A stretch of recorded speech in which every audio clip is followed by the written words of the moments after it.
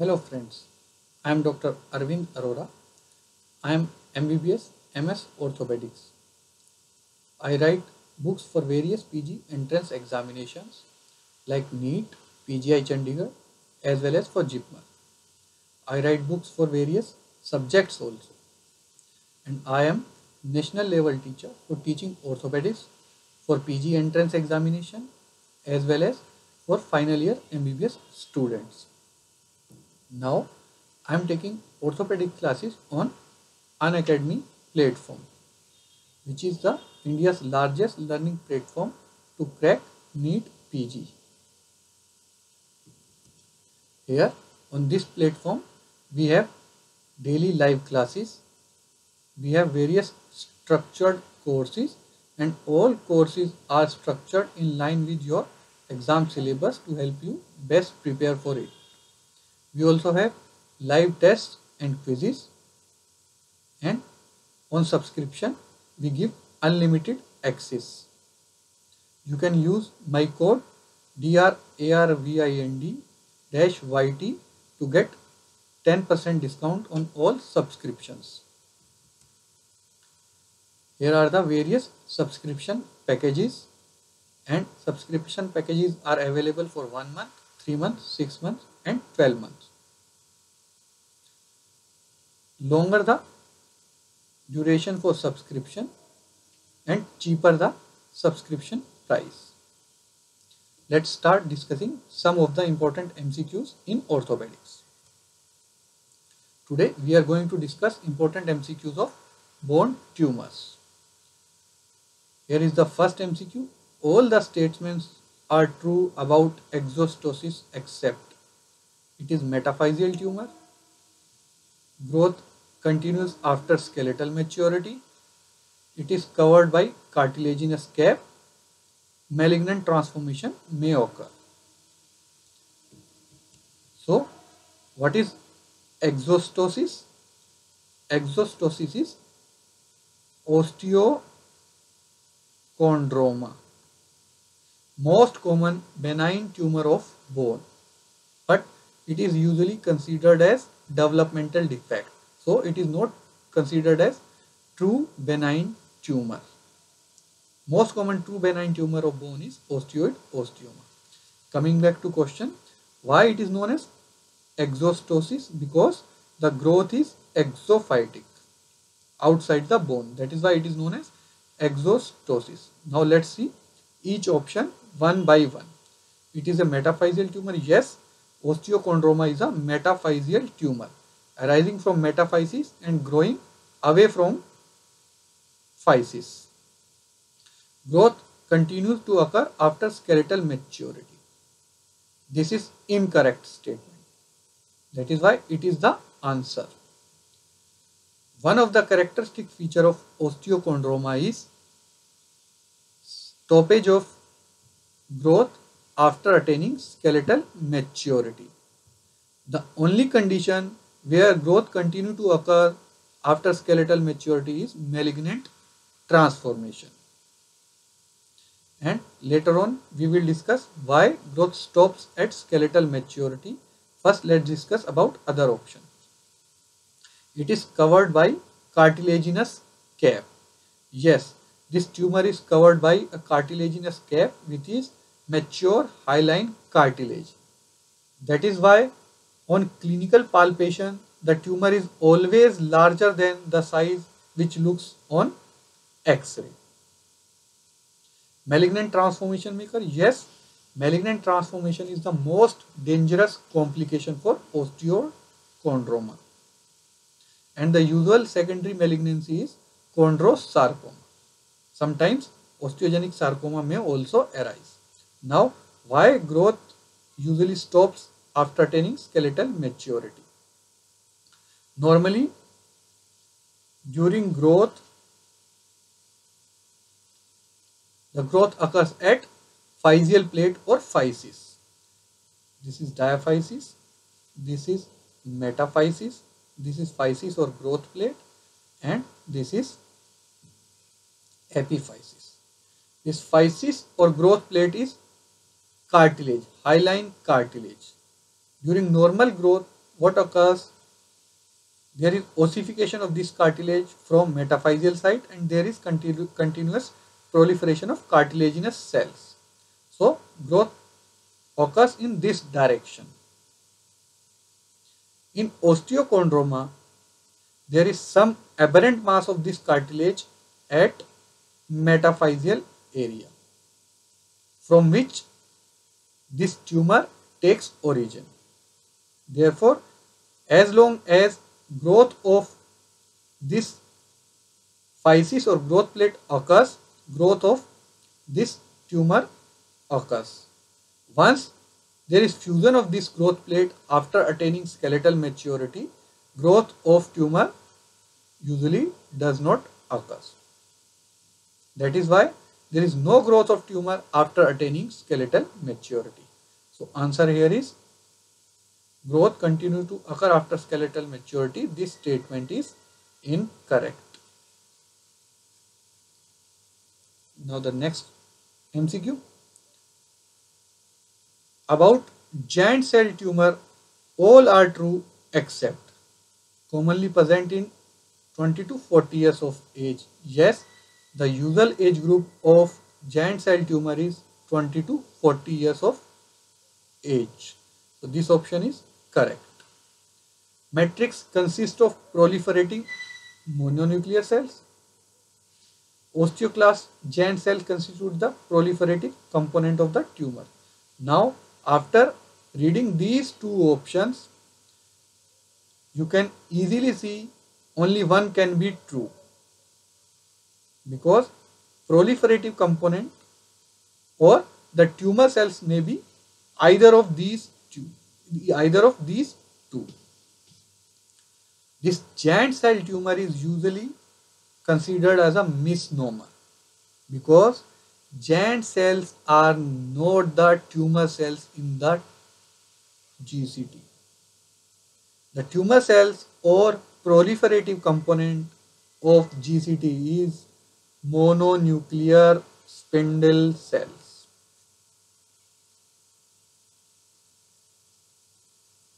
Okay, so in giant cell histology, there are two important cells.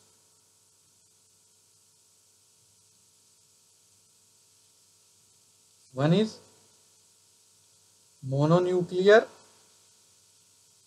spindle cells which are the tumor cells or pro proliferative component of the tumor. The second type of cells are multinucleated giant cells. These giant cells are derived from osteoclast. But these giant cells are not the tumor cells. That is why giant cell tumor is a misnomer. So, osteoclast giant cell constitute the proliferative component of the tumor is incorrect statement. That is why it is the answer of the question. It is a benign tumor which may have lung metastasis. Yes, it is benign but locally aggressive tumor and 3 to 5% of patients may have lung or pulmonary metastasis. Okay, so answer of this tumor is osteoclast giant cells constitute the proliferative component, which is the incorrect statement. Moving to next question. Most common site of unicameral bone cyst. Humerus upper end, femur lower end, tibia upper end, tibia lower end. So answer here is humerus upper end. Unicameral bone cyst also known as simple bone cyst or solitary bone cyst. It is, it, it is a metaphyseal tumor and the most common location is metaphysis of proximal humerus. Now here is the slide showing the most common location for important bone tumors. It is easier to remember if we try to remember separately for axial skeletal and for appendicular skeleton and in both of these we will going up down or proximal to distal. First for axial skeleton most common location for ivory osteoma is frontal sinus bone. Most common location for ameloblastoma is mandible. Most common location for multiple myeloma, metastasis, osteoblastoma and chordoma is spine that is vertebrae. And the most common location for chordoma in spine is sacrum. Most common location for chondrosarcoma is pelvis. Now we'll see important bone tumors of appendicular skeleton. Most common location for unicameral bone cyst also known as simple bone cyst and chondroblastoma is proximal humerus. Most common location for enchondroma is small bones of hand followed by small bones of feet. Now these seven tumors fibrous dysplasia, aneurysmal bone cyst, Ewing sarcoma, osteoid osteoma, osteochondroma, osteoclastoma and osteosarcoma. Most common location for these seven tumors is femur. Mnemonic for these seven tumors C quadruple O fibrous dysplasia aneurysmal bone cyst Ewing sarcoma osteoid osteoma osteochondroma osteoclastoma and osteogenic sarcoma the first letter of fee and first letter of this quadruple O that is fibrous dysplasia and osteoid osteoma most common location being proximal femur. Most common location of Ewing sarcoma is shaft of femur as it is a diaphyseal tumor and remaining four tumors that is aneurysmal bone cyst, osteochondroma, osteoclastoma also known as GCT and osteosarcoma the most common location for these four tumors is distal femur. Most common location for adamantinoma is tibial diaphysis. Okay, a quick recap. Most common location for ivory osteoma, bones of frontal sinus. Most common location for ameloblastoma, mandible. Most common location for multiple myeloma, metastasis, osteoblastoma and chordoma is vertebrae. Most common location for chondrosarcoma is pelvis. Most common location for unicameral bone cyst and chondroblastoma is proximal humerus. Most common location for enchondroma is small bones of hand followed by small bones of feet. Most common location of fibrous dysplasia, aneurysmal bone cyst, Ewing sarcoma, osteoid osteoma, osteochondroma, osteoclastoma and osteogenic sarcoma is femur. Among these seven, fibrous dysplasia and osteoid osteoma arise most commonly in proximal femur at metadiaphyseal junction. Most common location of Ewing sarcoma is shaft of femur and remaining four tumors arise most commonly in distal femur. Most common location for adamantinoma is tibial diaphysis. Now the next MCQ, following is an X-ray appearance of fibrous dysplasia, giant cell tumor, simple bone cyst, chondrosarcoma. Here you can see ground glass appearance of bone as well as this typical bending of proximal femur known as Shepherd crook deformity. Characteristic features of fibrous dysplasia. The radiological features of fibrous dysplasia are well-defined radiolucent area with ground glass appearance and upper end of femur there will be bending like bend in the upper end of a stick of a shepherd that is why it is known as shepherd crook deformity.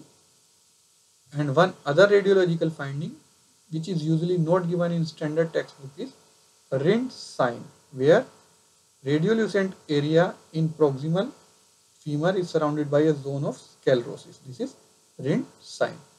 So these are the important radiological findings of fibrous dysplasia. Okay. So I will finish my lecture here. Thank you very much for joining the lecture and best of luck to all of you for your preparation.